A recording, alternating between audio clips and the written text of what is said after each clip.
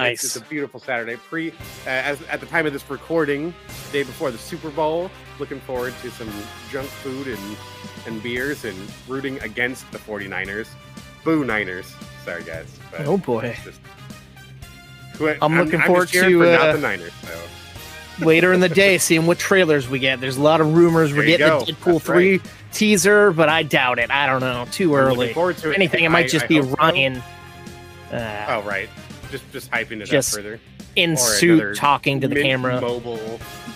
Yeah. I love how I said Ryan as if we know him. you know, buddy Rye, Rye guy, as, Yeah. as he uh, insists we call him. Um, no, like I, I could almost see something starting off as like a Mint Mobile ad that then just rolls into like Deadpool rolls in, cuts his head off, and then That'd be actually cool. it's a trailer for this. like that would be great.